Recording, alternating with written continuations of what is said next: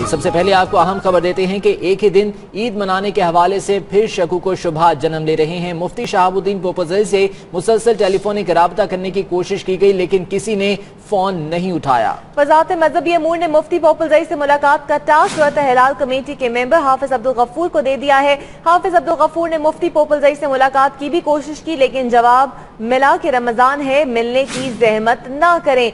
चाँद के हवाले से देखी जाएगी तो आपको बताएँ कि कोशिशें एक दोबार फिर से की जा रही है कि मुफ्ती पोपल जई से मुलाकात की जाए, ताकि एक ही दिन मुल्क भर में ईद मनाई जाए। इस हवाले से मजीद हम बात करेंगे 92 न्यूज़ के नुमाइंदे जमशेद खान से। जमशेद, लगता है कि मुफ्ती पोपलजई रमज़ान के शुरू में जब उनसे मुलाकात हुई, इस बात पर अब तक नाराज़ हैं। मुफ्ती शहाबुद्दीन पपुलजाई जो है वाकई नाराज़ है और उनको कुछ तहफात भी हैं। जुमेरात के दिन से मुसलसल वजारत मजहबी अमूर के काम जो है उनसे रबता करने की कोशिश करते रहे, टेलीफोनिक रबता करने की कोशिश करते रहे, लेकिन उन्होंने टेलीफोन नहीं उठाया। के बाद ये टास्क दिया गया हाफिज अब्दुल गफूर जो रहे थे हिलाल कमेटी के मेंबर है और पिशावर से उनका ताल्लुक है कि वो मुफ्ती साहब से रबता करें।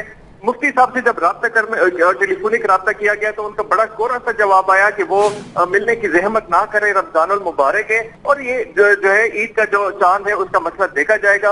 अब ये कहा जा रहा है कि शायद जो है एक रोजा जो है वो जो है ना वो पहले रखा गया है जिसकी वजह से ये इम्कान ज़ाहिर किया जा रहा है कि खैबर पुख्तनख्वा में शायद अट्ठाईस रोजों पर जो है ईद का चाँद का ऐलान ना कर दिया जाए। यहाँ पे वजारत मुसलसल कोशिश कर रही है कि किसी तरीके से मुफ्ती शहाबुद्दीन के साथ बैठ के दोबारा जो है ईद के हवाले से एक मुफामत तैयार की जाए, लेकिन मुफ्ती साहब जो है यहाँ तो उससे कोई रबते में नहीं आ रहे। जी।